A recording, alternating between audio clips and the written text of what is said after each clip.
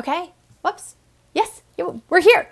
Okay, uh, I'm gonna let, I'm realizing that um, Facebook takes a minute to let you all know that we have our Facebook Live. So I am now going to, come the new year, um, we're just making the show better and better. So in the new year, we're gonna have it go on about three minutes before 9.45. I think we're keeping the time the same. And then it'll pop, you know, it'll let you know there's gonna be a Facebook Live. That way you don't miss it because you know what's fun? Asking a question in real time and then getting a real time answer, especially if you've just got stuff going on, you know? So today, oh, I didn't put a title, but I am going to be just answering some of the really great questions that came in yesterday. And this time of year, what we have to recognize is this time of year is ripe with our triggers, okay? So when you take a look at habit formation, and if you haven't read Atomic Habits, The Power of Habit, any of those books, if you like personal development or you're you know, if you ever have the thought, God, I wonder what's wrong with me, like I used to, you're going to recognize nothing's wrong with you. You have a healthy functioning brain, and the brain searches for the easiest way to live your life, not the best way to live your life. The easiest way. The easiest way to live your life is just keep doing what you've been doing. Okay? That's easy. If you just keep doing what you've been doing, you don't have to think, you don't have to change, you don't have to get uncomfortable, you don't have to do anything differently. So there's nothing ever wrong with us. We are literally wired to find the path of least resistance. Why? Because that ensures our survival.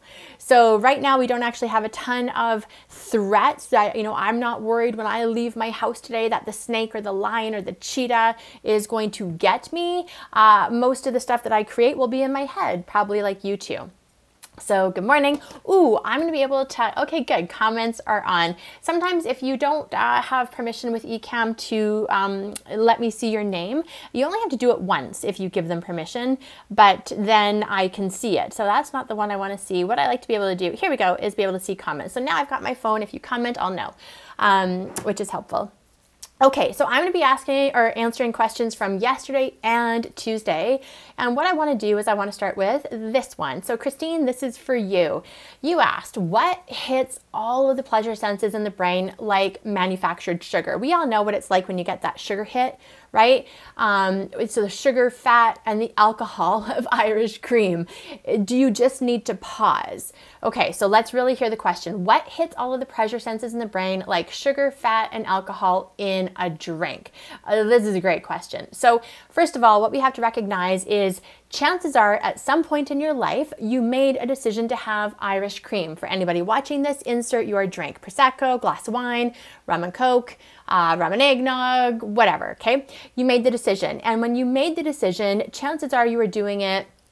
Uh, for good. Maybe you were doing it on a first date with someone or at your first Christmas with someone, or maybe you were doing it um, with your family or you saw your parents do it, or and, and, so many of the reasons, let's just use this for good. When you first started doing this, you got not just the drink, there's all of the circumstances that are occurring at the same time as you do the behavior that activate so much of the brain. So, my, you know, when I thought about this question yesterday, do you want to know what my uh, first answer was? So, the question is if you're just tuning in, it's this what activates the pleasure senses in the brain? Um, love. Love love activates the pleasure senses in the brain. When we feel a sense of belonging, deep connection, when we feel loved, when we're giving love, when we feel safe, love will do this in your brain. It will light up. Right? So often, when we're using other things to get that dose of love, connection, belonging, community, all of the things, um, oh, good, you're putting up your Christmas tree. Okay, yay. Uh, when you when you have that what happens is, oh, in order for me to feel loved, or in order for me to belong, or in order for me to feel safe, or in order for me to feel more secure, I'm going to have the drink. So, in my Weight Loss Academy, what I teach is everything happens in the pause. And the pause is you have a cue and you have what you do, your routine, your habit. Okay. So, I, like I said, all of us are being wired to live life easy, right? So the path of least resistance is what's easy. So the cue and then the the cue and then the habit. The pause is when you slow down and give yourself enough time to breathe and to think of a new thing to do. That's really uncomfortable.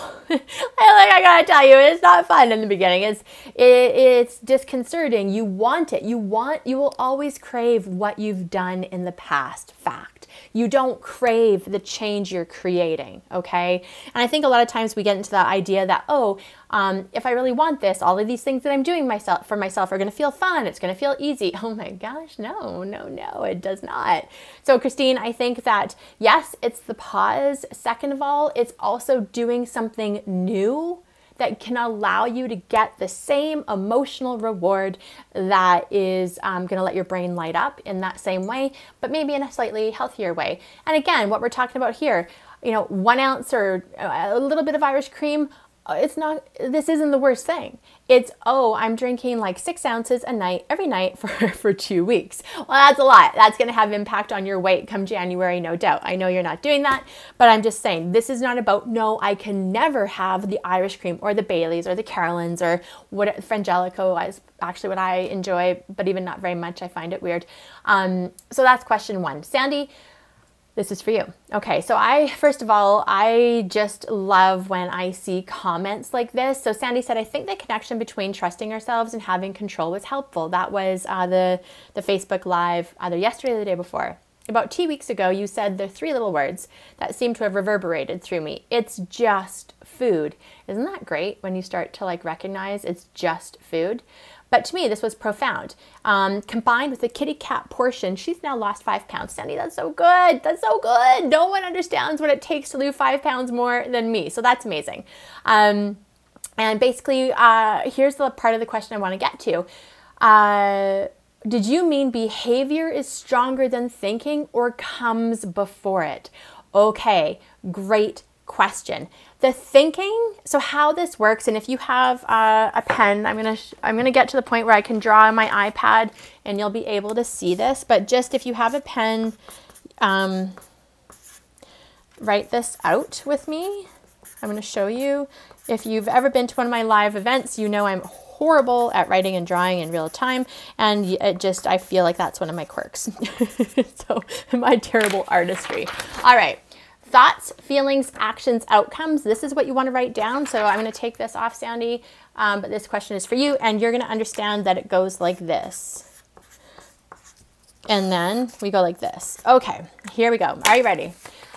Hey, hi, good morning. Okay, this is what this looks. You have a thought. So basically, the thing that happens before the thought are the circumstances, events, the cues, the triggers. It's like the reality of your life. There's things that happen before we have a thought. And those things are are, so I'm just going to put that up here. I'm just going to call it circumstances or I'm going to call it maybe facts of your life. You know, it's the facts of your life. It's raining today. Maybe you're, you're carrying a ton of debt. Maybe you're 20 pounds overweight. Like they're facts. Okay. So there's going to be, hey, Alex, good morning. You made it. Yes. Um, so there's going to be these things they trigger thoughts. The thoughts you have generate your feelings. What's a feeling? It's a you're consciously aware of an emotional experience. That's what a feeling is. You know that you feel sad, pissed, angry, happy, lonely, sad, annoyed, frustrated, joyful, loving. Okay, you you have an awareness of it. Emotions are they can be present and they can be at the subconscious unconscious level. So feelings are things that you know you are experiencing. These feelings will lead to your behavior. An action is a behavior. Now what I like to teach is the AIR acronym, A I R, action, inaction, reaction. There are always you're doing one of those three things. These actions create the outcomes in your life. The outcomes are the results that you're living. So what we have to do a lot of times in the dieting world everything is action focused. Do this don't do that. Uh, can't have this make a list track your food go shopping go prepping blah blah blah. And it's all good stuff except if you don't understand the thoughts and feelings that are driving the actions then you keep repeating and getting the same outcomes and results in your life. Just make sure that you're giving me a thumbs up or a heart if that makes sense so, where the self sabotage book, if you don't have it, grab it in the top of the post, right? Stop sabotaging your weight loss. It's free PDF. Is we have to understand that again, we are all sabotaging. Okay, we are all, you're either consciously aware that you sabotage or you're in denial and you do, right? So, the biggest thing I see for women with this, their thinking, is sometimes women want to think their way to perfection before they take action. That's procrastination. That's needing to get it right. That is a self sabotaging pattern. So we need to be able to have the courage to have thoughts that are a little bit better than the ones we had yesterday so we can generate better feelings. The more that we feel better about who we are and what we're doing and where we're going, the better actions we take. When you take better action, so let's just say, let's just work this through circumstances. It's uh, Thursday night. Um, there's Christmas stress, there's family dynamics happening. It's a long day at work. I still have Christmas shopping to do. I don't prep and I get home at nine. And I think, God, what's wrong with you, Jen? Why do you always get yourself in the same position? You know what? Screw it. Just eat the chips tonight and have the half bottle of wine, right? The thought. I'm already thinking something, my feelings are going to be despondent, apathetic, unmotivated, whatever, I don't care. Um, so my actions are I'm going to drink the half bottle of wine and eat the chips. What's my outcome? Well, my weight's not going to change. And then my weight doesn't change. So now I go back and I'm still overweight. And so I keep having the same thoughts about myself. God, what's wrong with me? How come I can't lose this weight? I feel really unmotivated. I don't feel like I'm ever going to be successful. So I don't take any actions that will help generate. So this is just like we get caught on the hamster wheel and it's exhausting. So the thing that I want to be so careful with is you cannot just focus on the actions because a lot of times that leads to white knuckling or on the wagon, off the wagon, or uh, chasing Mondays. You're you know you're good Monday to Thursday, and then you're chasing a Monday because uh, you drop off, you know, fall off the wagon. So we want to have this beautiful balance between being aware of your thinking, really paying attention to your feelings, knowing you're either going to be in action, in action, or in a reaction, and that that's affecting you, affects your outcomes. If you want better outcomes, you cannot just focus on the behavior, you have to go back to your thinking. So, Sandy, if you are watching this, please, please um, tell me if that helps you. And for anybody else, let me know. Does that land for you? Can you see it? Right? Feeling scared, feeling crazy, feeling like you're going to be food obsessed, not wanting to have to pay attention to your food all the time, not wanting to have to think about it. You just want to feel normal, you feel out of control. All of that thinking generates everything that you've just thought because you like to be right about yourself. So if you're going to think stuff, why don't you think good stuff about yourself and be right about that and generate the actions and results in your life from that place? Okay, another question from Christine, and I think this is brilliant. Let me get it. Uh, why isn't it clicking? There we go. Okay, so I hope, I believe that this is very relevant for a lot of women right now. Why do our most destructive habits hit us when we are at our most emotionally depleted? Great question. And you know, you don't have to say that maybe you're feeling that way, but I know I've been feeling this way, um, emotionally depleted. When you're emotionally depleted, what's happening? So here's what's happening with the chemistry around that. When you're emotionally depleted, chances are you will also be physically depleted, possibly a little bit tired.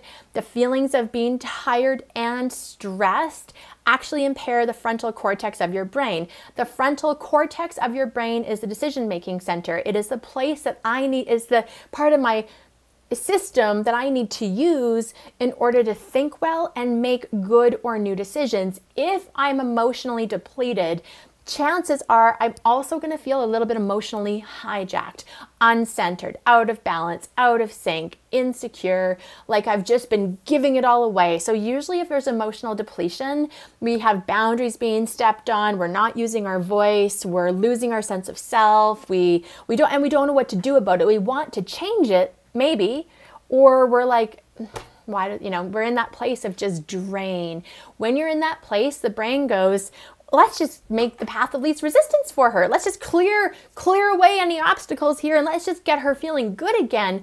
What and this is where you'll go back and revert to old habits because your brain goes, "Oh, I know. When she used to drink, eat, watch TV, have pop, I have no idea what you're doing, Christine, but I'm making, you know, the things I hear up. Let's just get her doing that again so now you've got a new a pathway ahead of you. It is so easy to go down it. Why? Because previously in your life, you've taken those actions. And so there's part of your brain that has neurons that have uh, fired together and then they've wired together. And when you're in the state of change, these new neural connections are not strong. You're like a baby. it's like baby neural connections. They're there, but when that drain is there, it's hard. And so we revert back, and this is why you're going to see progression, regression, progression, regression, two steps forward, one step back, three steps forward, four steps back. The whole point is you keep going forward. You don't let the backtrackings, you know, derail you. You go, "Oh my gosh, I'm learning so much about myself right now." And that's how you stay gentle and you move from being gentle and consistent and to coming back to the game, right? So it's like it's like, oh, why are we playing the hardest team when our star quarterback is out for the count right now? You don't just give up the game. You you make all parts of the team elevate so that you can keep going forward and give yourself a good chance of winning.